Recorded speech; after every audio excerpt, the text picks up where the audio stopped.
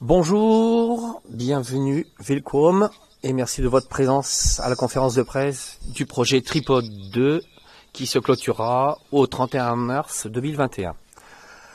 Nous vous présenterons successivement le projet et ses résultats, puis nous ferons un focus sur la thématique design et transfrontalité, deux outils de différenciation, avant de vous offrir un temps d'échange avec nos intervenants.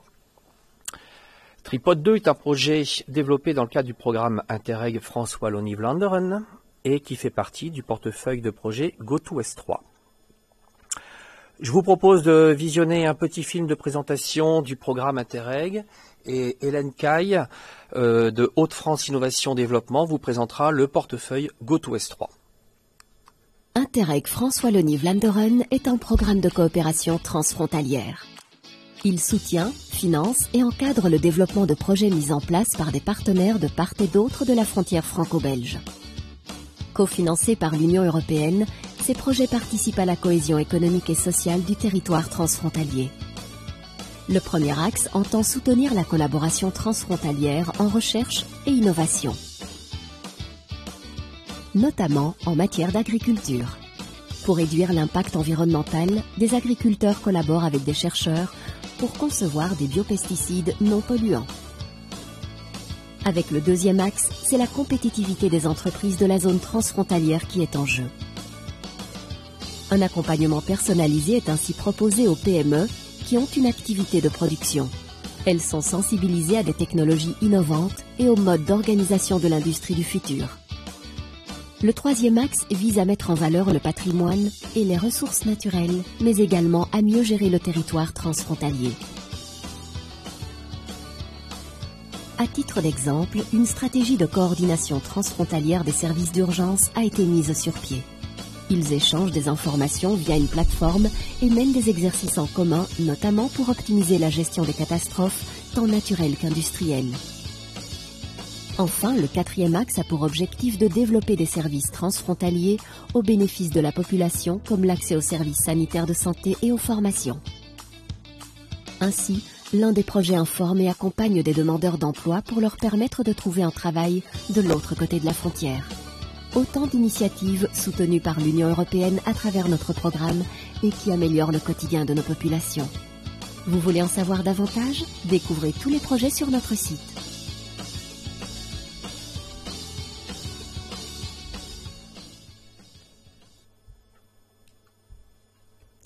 Alors, comme Olivier l'a dit, je m'appelle Hélène Caille et je suis la coordinatrice du projet GoToS3.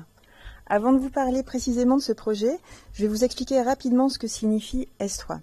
Il y a une dizaine d'années, les chefs d'État et de gouvernement des pays de l'Union européenne ont lancé la stratégie Europe 2020 afin de relancer l'économie européenne. Et dans ce cadre, chaque région a été appelée à identifier quelques domaines stratégiques dans lesquels elle réussissait particulièrement et à partir de, ces domaines-là, elle a établi sa propre stratégie de spécialisation intelligente, en anglais Smart Specialization Strategy, d'où l'acronyme S3.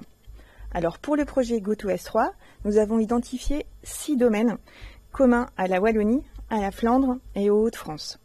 Il s'agit de la chimie des nouveaux matériaux, de l'agriculture et de l'alimentation, du textile, de la santé et du soin, de l'industrie 4.0 et des industries culturelles et créatives. GoToS3 est un portefeuille de 17 projets du programme Interreg France Wallonie Vlaanderen. 17 projets de recherche, de transfert de technologie et d'accompagnement des entreprises. Ces 17 projets œuvrent au service du développement de l'innovation et de la compétitivité des entreprises du territoire transfrontalier. Comme vous pouvez le voir, une petite centaine d'acteurs flamands, français et wallons unissent leur complémentarité au sein d'un réseau très riche. Il y a les acteurs de la recherche, des acteurs économiques, mais également des acteurs culturels et des centres hospitaliers, par exemple. L'objectif de GoToS3 est de renforcer l'écosystème de la recherche et de l'innovation du territoire transfrontalier en favorisant les synergies entre les projets, par exemple, et aussi de développer l'innovation et la compétitivité des PME. Comment? Eh bien, grâce à l'offre de services très riche proposée par les 17 projets constitutifs du portefeuille. Il s'agit d'accompagnement individuel, de formation collective, d'accès à de nouvelles technologies mais également d'occasions de networking. En effet, tous les projets sont orientés vers les entreprises. Les, partenaires de GoToS3 euh, organisent aussi régulièrement des activités autour de l'innovation transsectorielle, autrement appelée Cross Innovation. Et d'ici la fin mars, nous vous inviterons à participer à de nouveaux ateliers euh, d'innovation transsectorielle autour du CO2, de l'alimentation et de la digitalisation dans la culture. Le projet est coordonné par trois partenaires qui sont Haute-France Innovation Développement, Pomme West Blanderen et la Alfine. Vous pouvez suivre les actualités du portefeuille et de ces 17 projets sur les réseaux sociaux et notre site internet. Merci.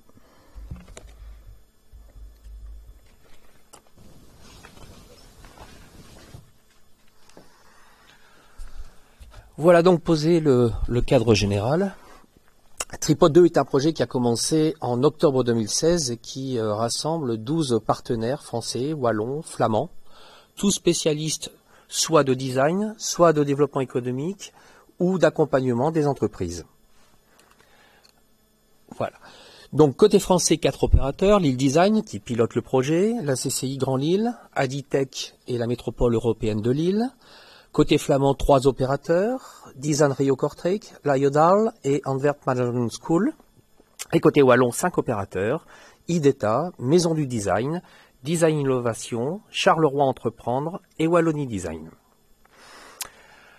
Le fait de mixer ces compétences nous a permis d'articuler nos actions autour de trois grands piliers, l'accompagnement, la formation et la mise en réseau. En effet, notre euh, ambition à l'origine était d'accentuer l'intégration du design en entreprise, de faire comprendre que cela pouvait être un levier de création de valeur, de diversification et d'innovation, et tout en favorisant les collaborations transfrontalières et permettre ainsi des regards nouveaux, croisés, et des échanges de bonnes pratiques. Nous allons passer au premier pilier, l'accompagnement, le but était de mettre à disposition des entreprises les compétences des conseillers des différents partenaires de Tripod 2. Première étape, un diagnostic avec le chef d'entreprise sur son projet, ses ambitions, ses attentes. Puis une restitution écrite avec des préconisations discutées en comité de projet par l'ensemble des partenaires. Dans un deuxième temps, sont proposées une séance de créativité pour affiner le projet et ou l'intervention d'un designer choisi par le chef d'entreprise sur proposition des partenaires et issus d'un panel transfrontalier. Donc nous retrouverons des designers français, wallons, flamands qui seront proposés pour intervenir chez le chef d'entreprise. Maintenant, je passe la parole à Nejma pour illustrer ce premier pilier. Oui, alors l'accompagnement euh, tripode en termes de chiffres euh, depuis 2016 ça représente plus de 80 entreprises qui ont été accompagnées par euh, les partenaires sur ce territoire euh, transfrontalier qui est celui de Tripod.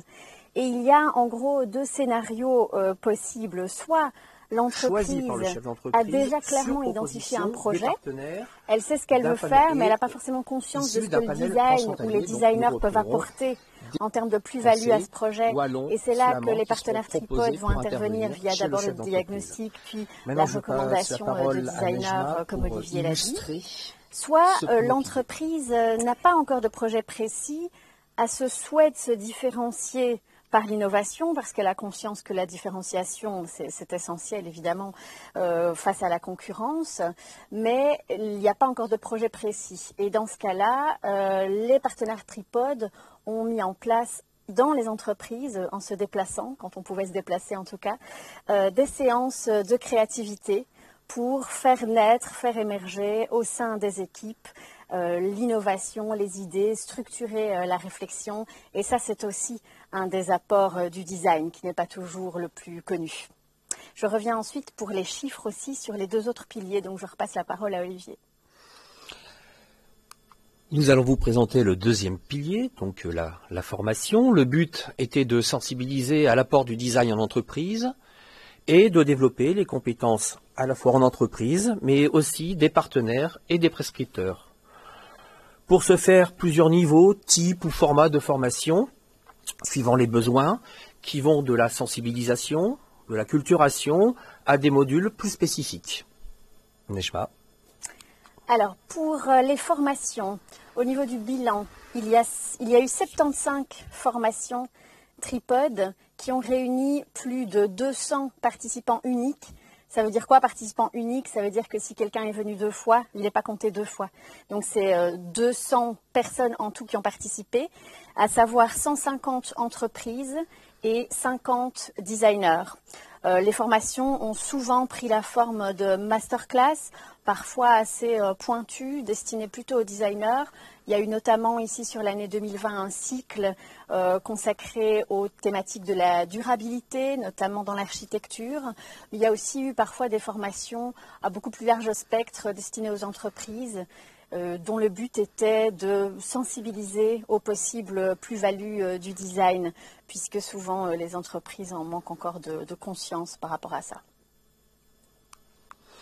Et passons maintenant au troisième pied, au troisième pilier de, Tripod, la mise en réseau.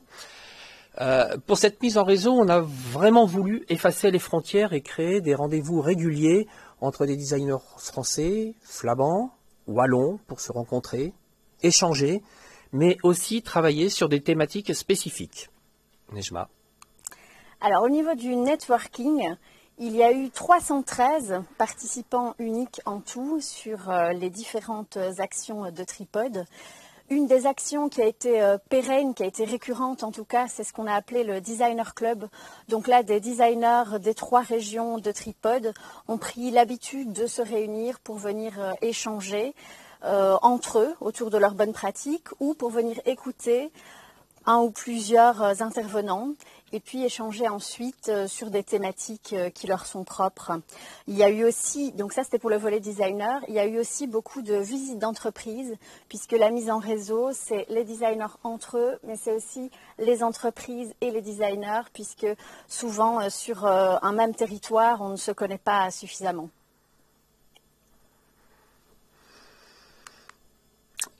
Et dernière chose qui te concerne aussi, c'est les publications de, de Tripod. Voilà, tout à fait. Alors, ici, nous avons euh, la publication qui est euh, bilingue, la publication finale en fait, qui reprend un peu tous les apports de ce projet Tripod, puisqu'on l'a compris, Tripod, euh, ce sont beaucoup de partenaires, c'est trois territoires, deux langues, beaucoup d'actions dans différentes directions.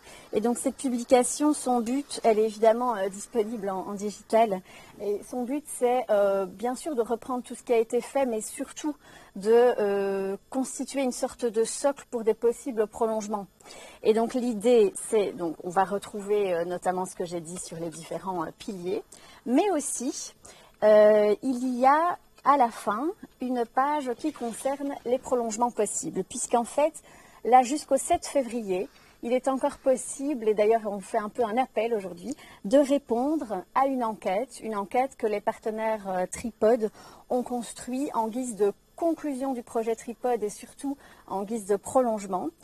Une enquête qui s'interroge sur l'avenir du métier de designer, comment euh, va évoluer de façon la plus probable le métier de designer, les actions du design et euh, la mission du designer lorsqu'il collabore avec une entreprise. Alors pour répondre euh, à cette enquête qui est disponible sur le site de Tripod, que vous soyez designer, que vous soyez une entreprise, que vous soyez enseignant dans une école de design, quels que soient vos rapports avec le design, vos réponses euh, nous intéressent puisque cette réflexion, elle va pouvoir euh, nous permettre d'identifier les évolutions probables du design, ce qui va évidemment être à la fois intéressant pour les acteurs du métier, mais aussi pour les écoles, puisque si on se dit que le métier va évoluer d'une manière ou d'une autre, bah, probablement que les enseignants qui formeront les designers du futur pourront également orienter les formations dans un sens ou dans un autre en fonction des évolutions euh, qu'on peut imaginer euh, de, façon la plus probable possible.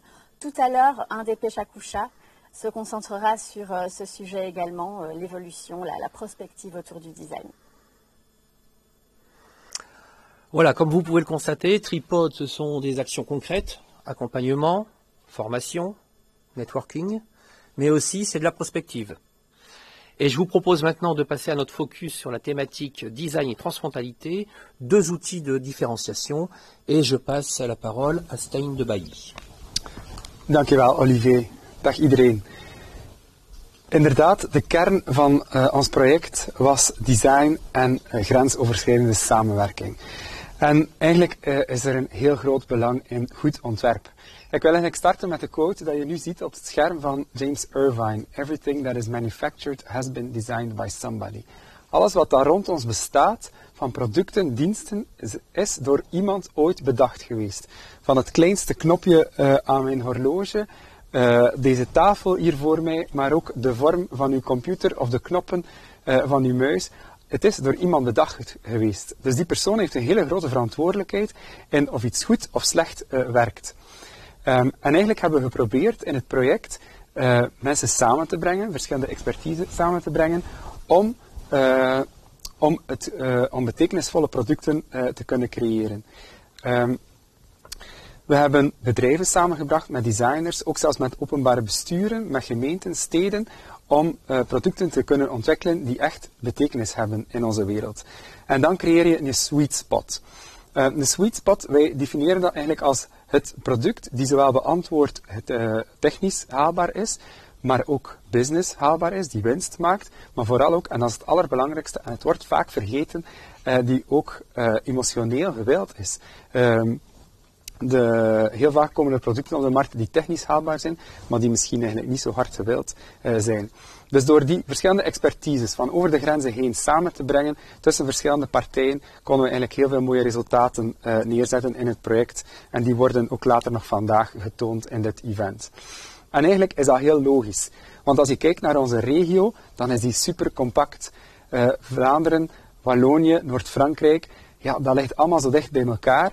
En eigenlijk, uh, iedereen kent iedereen. Dus het is ook logisch dat we samenwerken en dat we expertise uitwisselen. En ik denk dat met dit project dat er uh, een zaadje geplant is uh, voor verdere samenwerkingen in de toekomst. Ik ben daar heel zeker van. We sluiten nu dit deeltje van de persconferentie af en we gaan eigenlijk nu overschakelen naar onze headline van vandaag. dat is onze keynote Satyendra Pakale. Hij zit naast mij.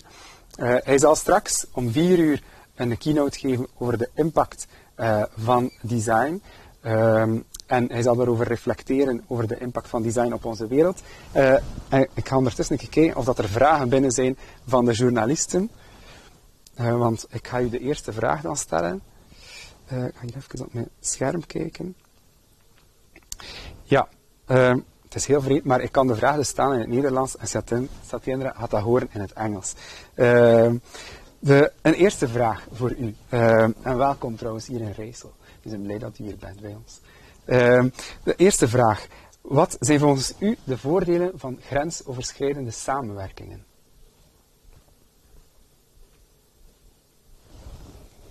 Thank you, Stan, for the question. I think um, cross-border communication, co cooperation of any kind, I think in any context is very, very crucial in today's context. I think it's uh, history tells us that, you know, in a good situation, uh, the cross-border co co collaboration is not just the sum of the parties, much bigger than, than what the parties bring it to, actually.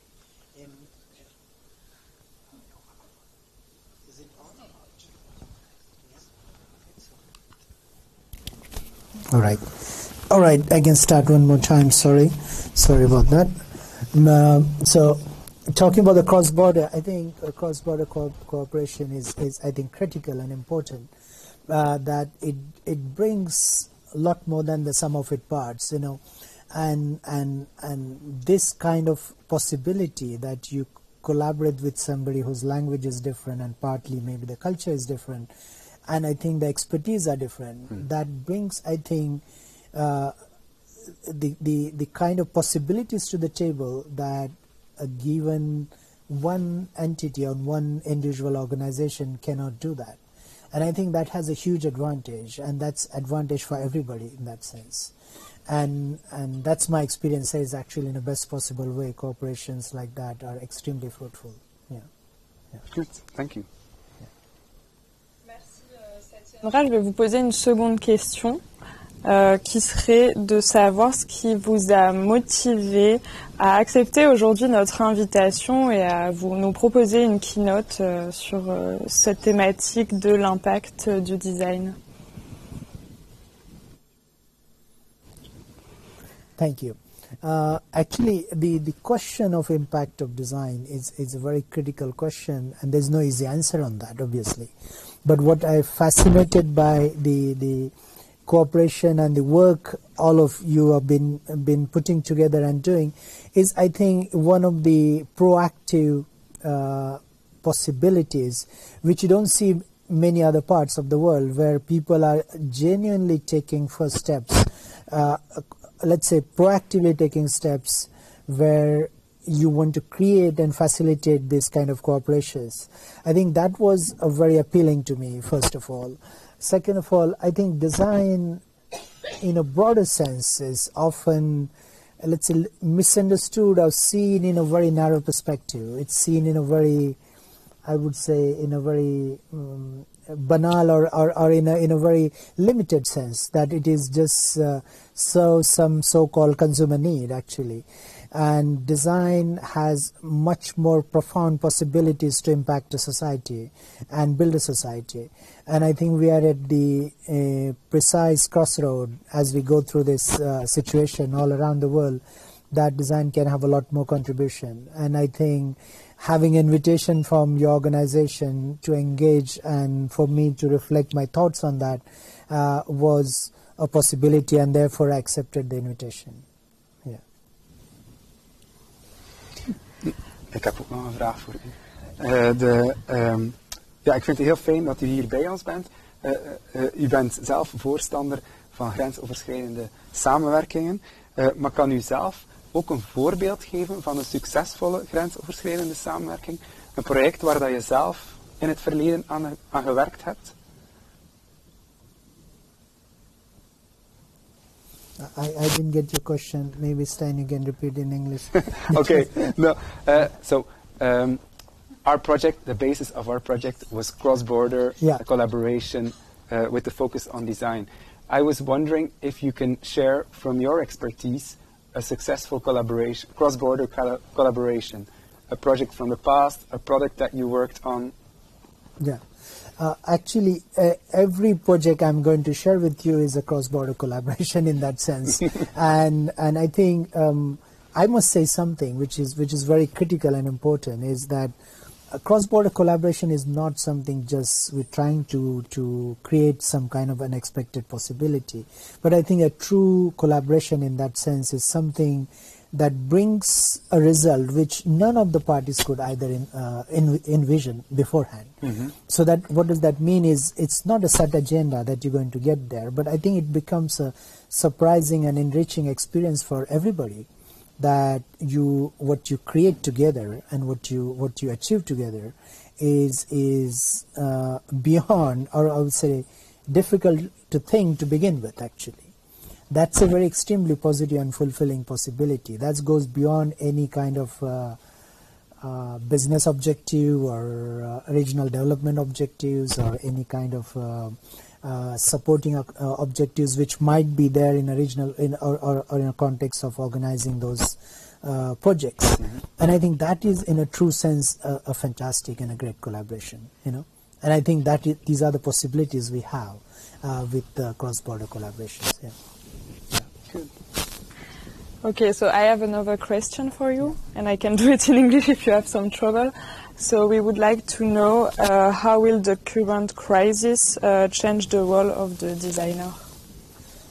I think this is a very, very good question. Thank you for this question. And this question is very much on, on, on my mind for entire last year.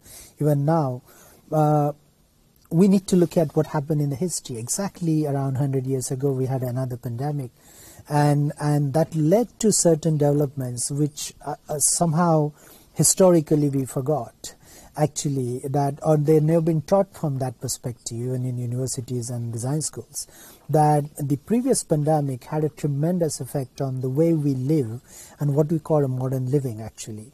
Uh, before the previous pandemic uh, uh when there were troubles with public health. You know, tuberculosis was there. There were other troubles, and then came the virus. Uh, which is actually one should correct it. It's wrongly called Spanish but it had nothing to do with Spain. In fact, it was all over. It was easier to point a finger at somebody. That's also the kind of uh, xenophobic attitude we have to eliminate from the history. But one one should ex uh, explain that as well. But uh, what the, the interesting thing happened that we what we call a modernism in terms of architecture and design has a tremendous impact of the conditions we gone through then actually that we got the clean uh, let's say interior spaces all the baroque uh, let's say um, decorative stuff was put aside. Uh, that that's the birth of the, the, the modern design which comes with Bauhaus then propagated with Ulm and then it goes on into industry and so forth I think it has its own root in very much in last pandemic, which we not fully but quite significantly, I would say. Uh, what really has become in that kind of context is that it, it propelled the way we live, and not only in a sense of the objects and the, and the built environment we have, but also the systems we have. The system means the universal healthcare we have. And just around 100 years ago, we did not have a universal healthcare in Europe, actually, the way we have it right now. And that is a big, big, big benefit of, to the society. And that propel in a very significantly um, uh, positive way. Now, what happened in last 40 years with, with the kind of um, mm, economic policies we had, it created a divide in a society. And what happened in the last 10 years is that this divide has been even multiplied uh, to beyond anybody's imagination with the help of technologies we have that is mainly the so the the social networks and so forth you know. Now if i want to find a pharmacy on a weekend it's perfect to find it on a google.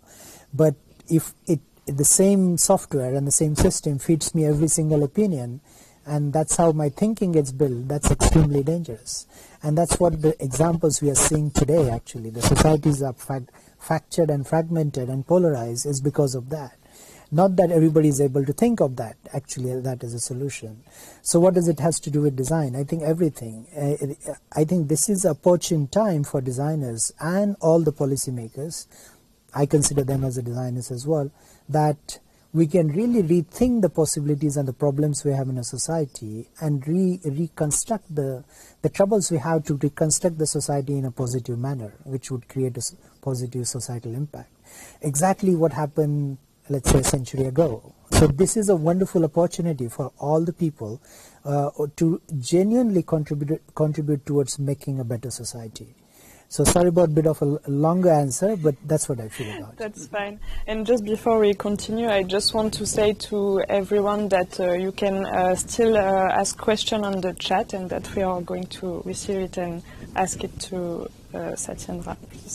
Yeah, I have an, an, another question. Satyendra, we talked about it yesterday, but we have a lot of uh, producing companies in the area, in the north of France, Flanders, and in Wallonia. A lot of them are SMEs so smaller companies. Um, and we, as design advocates, we still have a lot of work to do. Not all SMEs are yet convinced about the advantages of applying design methodologies, design thinking in their activities. Um, uh, although we've done already a lot of work, uh, but still there's uh, a, lot of work to, to be done. Uh, what, uh, what, what is the advantage, do you think, uh, for those smaller companies to apply design in their activities? I think I think um, mm, if I could say, and I think maybe I'm repeating myself, and you probably have uh, engaged with this topic uh, much more deeper. The, the the question of understanding of design itself is often understood as some kind of veneer, some kind of a layer on the top, and I think that is not design. Design is profoundly to contribute a genuine structural thinking within an organization, be it uh, uh, industry or manufacture setting, uh, a small, medium scale, whatever it is, you know. So it is not just to create a great product. Great product is a result of many things done right. And what are those many things done right is actually design uh, culture to be engaged with in a given organization and some companies do better than the other some culturally do better than the other. But i think what we need to engage is that design is not just the end result what people see and they call that as a uh, design. But there are many many things to be done before. And once we do those things right, the result is right. And any successful example one could see in, a, in, a, in, a, in any context uh, is a result of that. And often those things are invisible. They are not seen, they are not spoken about, they are not engaged. And because of that, often the, the reluctance of small organizations, of course, certain limitations of all kind of uh, uh, reasons, they don't want to engage because they think it's some kind of a superficial thing. And uh, the point I want to make in a presentation as well is that design is genuinely to build something which will contribute to the masses. And if we, so-called design world, do not uh, say stay in our ivory tower, but genuinely engage with all kind of people, and that will be a success for everybody as well you know so so the context of design as seen as some kind of ivory tower profession some kind of exclusive i think that has also be be be taken away you know. So all these things results into those kind of misunderstandings if i could say. But i think genuinely uh, people from industry nobody believes whatever you tell them unless you give them a concrete example. And and I do believe as a practicing designer is to show a concrete example. And when there's a concrete example there is nothing to be proven. It is the fact. Mm-hmm.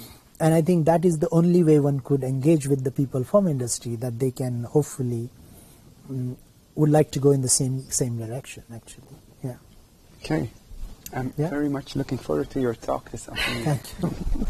okay. Euh, merci Satyendra euh, d'avoir répondu à nos questions. Euh, donc ça va être maintenant l'heure de clôturer euh, notre euh, conférence de presse et donc je remercie encore Satyendra euh, d'avoir participé à cette conférence et vous pourrez donc le retrouver tout à l'heure. je veux juste vous présenter le programme qui va suivre et je vais laisser Stein le présenter. Dus uh, deze namiddag hebben we voor u nog heel wat inspirerende inhoud in petto. Om drie uur, dus dat is binnen 25 minuten, starten we met de Kuchas over grensoverschrijdende samenwerkingen met als thema uiteraard design. Heel boeiend, heel dynamisch uh, en vlug en flitsend. Dat is een heel fijn concept. Uh, blijf zeker kijken. Om vier uur hebben we de keynote van Satyendra die reflecteert over de impact van design. Gaat ook super interessant zijn. Dus hopelijk tot dan. Uh, ja, Voilà. Parfait. Super. Juste après.